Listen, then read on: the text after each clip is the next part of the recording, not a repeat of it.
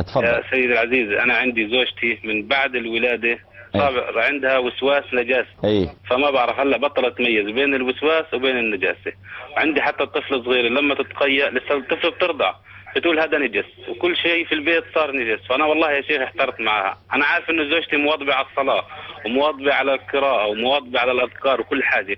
وأنا قلت لها هذا عشان الشيطان يعني انت مش عارفه تدخلك من أي باب. صحيح. فما بعرف إيش اللي تنصحنا فيه قراءة قرآن أو إيش نسوي؟ والله يعني حياة لا تطاق. طيب آه، هي الآن تسمعني يا محمد؟ هي تسمع كويس تحب تحكي معها؟ أنا بعطيك تحكي معها. آه، والله اللي تشاء إذا كان الأمر. طيب آه، خلها تكلم. طيب تفضل هي احكي معها. أم أختي ال- الولد الله يحفظه لكم كم عمره الآن؟ الصغير.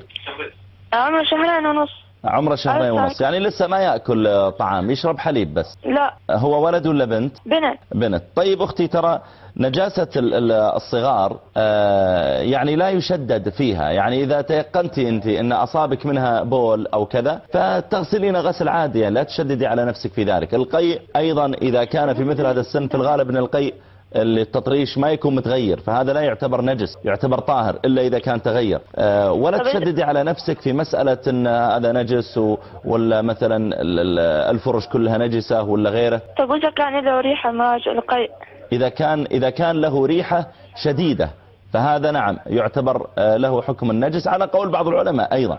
فهذا تغسلينه عادي يعني لا تشددي على نفسك في تتبع النقط لأن أصلا مختلف في نجاسته ليس مثل البول. ريحة شديدة شديدة يعني؟ حتى حتى لو كان ريحة شديدة هذا يغسل غسلا يسيرا ينضح بالماء بس. طيب بارك الله فيك الله يا شيخ يحفظك. جزاك عنا كل خير الله إن شاء يحفظك الله. محمد. الله يبارك في ذريتك. تسلم.